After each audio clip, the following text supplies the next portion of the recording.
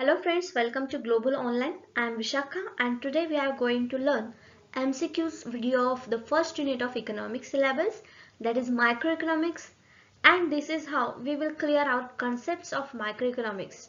We are taking this MCQ series to prepare for the upcoming NTA NET exam 2022.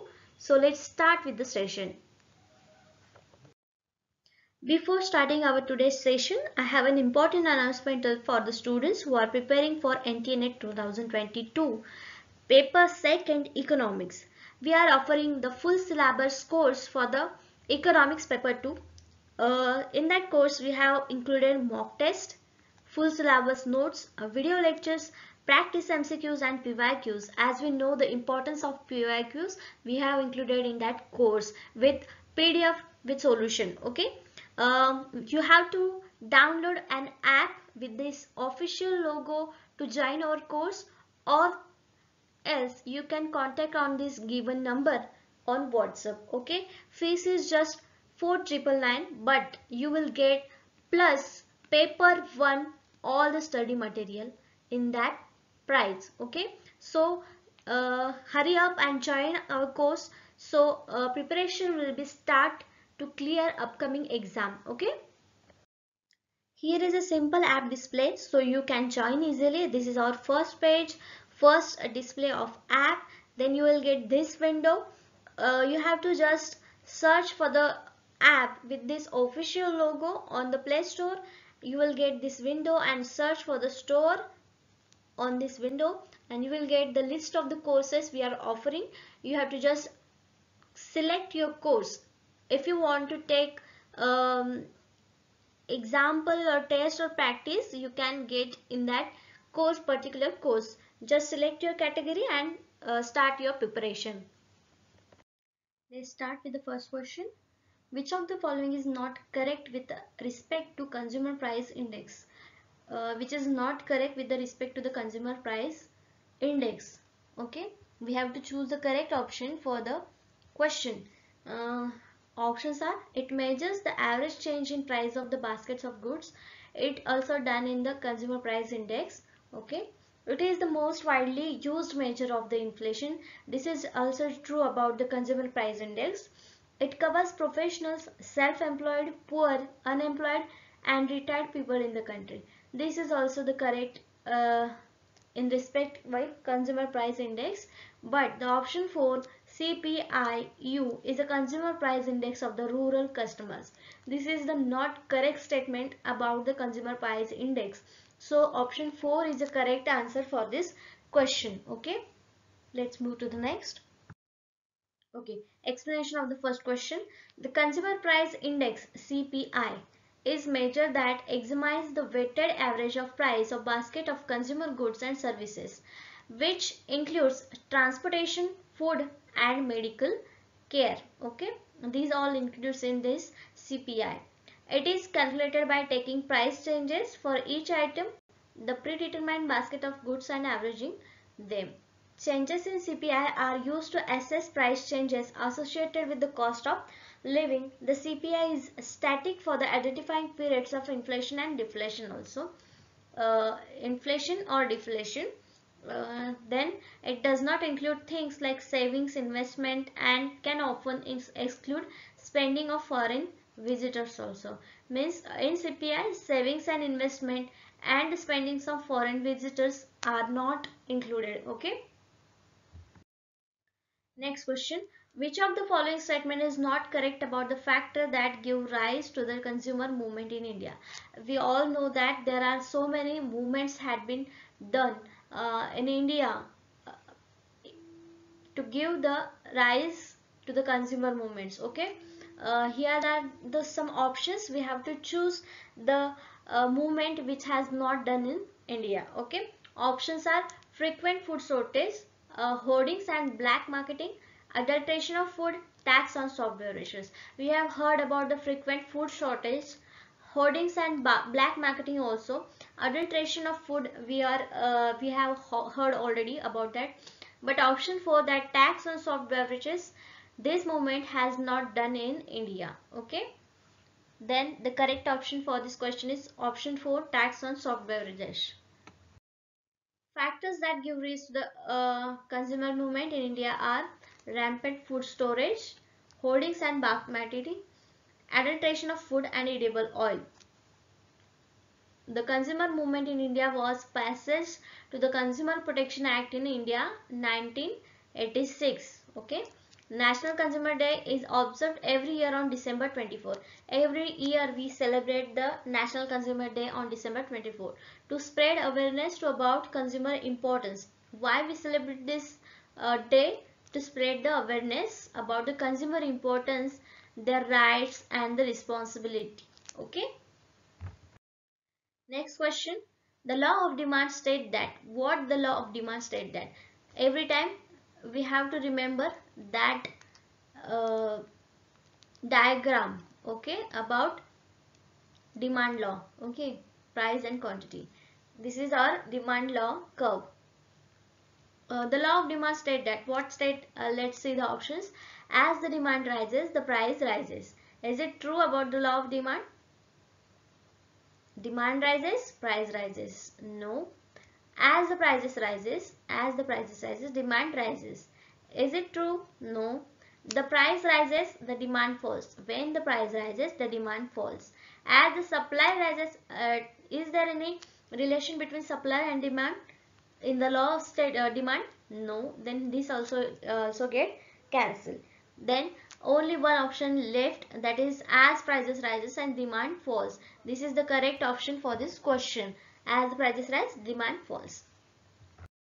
As we know the law of demand, the amount of good that consumer would optimally choose like the uh, like to increase when the price of the goods falls it likely to decrease with the rise in price of the goods this means the price rises the demand falls hence option 3 is correct however this rule is not valid through high value goods whose demand increase when the price rises here are some uh, points where the demand doesn't uh, increase when the price rises. Uh, what values? High value goods. Hmm? A fall in the price of one commodity would cause an increase in the demand of complementary commodity. For example, other factors being constant, fall in price of sugar would increase the demand for tea and vice versa. This commodity is called a complementary commodity. Here are some goods uh, where the law of demand does not uh, Which of the following is a basic characteristic of oligopoly? Uh, we know we have learned about the oligopoly and we have to choose the one of the character of uh, oligopoly. Options are many sellers, many buyers, few sellers, few buyers, few sellers, many buyers, many sellers and few buyers. Here we know uh, in oligopoly there are many buyers and sellers are very few. So correct option is option 3. Few sellers and many buyers in oligopoly. This is the basic characteristics of oligopoly. Few sellers, many buyers is the basic characteristics of oligopoly. This is our answer. Oligopoly is a situation where three there are only few sellers who sells different and identical products and dominate the market since they have control over the price of the product. In oligopoly, sellers can control the price of the product.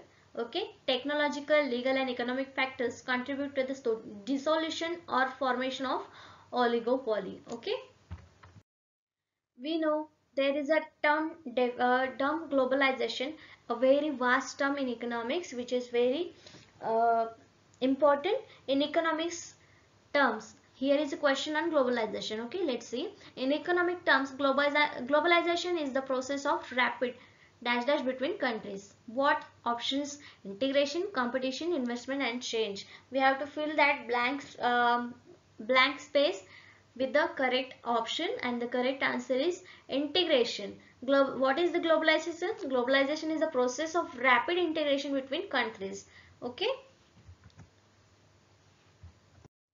Globalization is a process by which ideas, goods and services spread throughout the world because it is integration between countries okay? Globalization is often used in economic context to describe an integrated economy marked by free trade the free flow of capital and corporate use of foreign labor markets to maximize returns and benefits of the common goods okay? Here are some uh, terms or some points which uh, shows us the why globalization is important to us or any economy? Okay? There are three types of globalization. Which? Economic globalization political globalization and cultural globalization. These are some uh, three types of globalization. Next question. Which of the following is most close to the definition of oligopoly again the question on the oligopoly options the cigarette industry the barber shop and the welding shop wheat growing farmers. As we know the in oligopoly there are few sellers and uh, many uh, buyers. So what will be the answer? There are many barber shop welding uh, shops wheat growing farmers also. But here we have an option about the industry. The cigarette industry is a, a correct example of oligopoly hence the correct answer of this question is option first the cigarette industry in oligopoly, the market where industry or sales are dominated by the small groups of sellers, it can result in collusion between sellers and reduces the market competition and leads to the higher price of consumers. Oligopoly markets share some common features less concentrated than monopoly. Oligopoly is less concentrated than monopoly and more concentrated than competitive system. Means the oligopoly is between not uh, between competitive system and another one is monopoly. Okay? Hence oligopoly has uh, features of monopoly as and features of perfect competition also. The statement supply creates its own demand is given by. Here uh, in economy we have a, uh, a great statement about the supply and demand that is supply creates its own demand because uh, every commodity which is produced has to be sell. It means supply already creates its own demand. This is statement is given some uh, one of the economist. Uh, who that economist? We have to tell. Uh, we have to answer that question from the options. Options are Thomas Jefferson, James Madison, David Ricardo and J.B. Say. The correct answer is option 4 J.B. Say. This is the correct answer. Uh, J.B. Say has given that statement that supply creates its own demand. Okay. The statement supply creates its own demand is given by J.B. Say, Jean Baptiste uh, Say was French economist who had liberal views and argued in favor of the competition and free trade. Okay. He is the best known for Say's law which is also known as law of markets. Thomas Jefferson served as third president of the United States from 1801 to 1809. Um, he also served as the second vice president of the United States from 1797 to 1801. Next question, the law of demand implies that the demand curve. Here is again the question on law of demand. Let's draw our diagram. Okay, price and quantity. Uh, what is the question? The law of demand implies that demand curve. How is demand curve? We have to tell uh, from that options. Options are slopes up. Can we see the slope is up? No. Then uh, this option is cut. The first slopes up and then down. Is there any slope go going up and then down? No. Then our option 2 is also cut. Slopes down, no regular pattern. Uh, this also uh, this is uh, this option first get close or cancel because here is a regular pattern in the law of demand then one option is left that is slope down we can see the slope is going down then correct answer is option 3 slopes down okay. The demand curve is relationship between the price and quantity of the goods and services. There is an inverse relationship between price and demand. Due to the price demand curve always downslope. Okay. Uh, because the relationship between price and demand is, uh, demand is inverse that's why we always see that demand curve is downslope. According to the law of demand when the price of commodity increase then the demand decrease when the price of commodity decrease then the demand increase inverse relationship between price and demand okay uh, keeping all the factors remaining the same this is the first basic assumption of the demand law okay which of the following is not related to macroeconomics? Uh, Option demand, supply and equilibrium, behavioral of individual economic units, labor economics and un unemployment. The question is which is not related to economics. So demand, supply and equilibrium.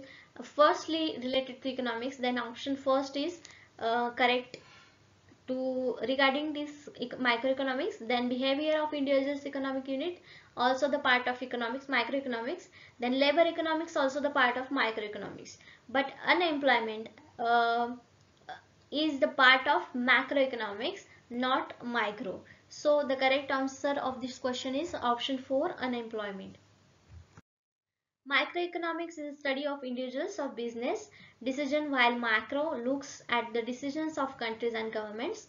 Microeconomics focuses on supply and demand and other forces that determines price level making it a bottom-up approach. Macroeconomics takes a top-down approach and looks at the economy as a whole trying to determine its course and nature. Microeconomics involves several key principles including but not limited to. This is about microeconomics. Next question. Which price is declared by the government every year before sowing season to provide an incentive to the farmers for raising the production of their crops? Uh, options are maximum support price, minimum support price, maximum stock price and minimum stock price. Here the correct answer is option 2 minimum support price. We already have the question in our last lecture on this topic that minimum support price. Who declares that minimum support price? Okay? The minimum support price is a price declared by the government to ensure agricultural procedure against any sharp fall in from prices farm prices it is announced by the government of India every year before the sowing season and provides incentive to the farmers for raising the production of their crops the crops were selected based on the recommendation of the commission. The, the here is the name of that institution which uh, select or recommended price for the uh, same commodity. Okay. Commission for Agricultural Cost and Prices CACP. If the market price for the commodity falls below the minimum support price due to the issue in the market, government agencies purchase the entire quantity at the announced minimum price. Okay. This is about the uh, minimum support price. So done for today. Uh, we'll see more questions in next session from microeconomics. Uh, thank you for today's session.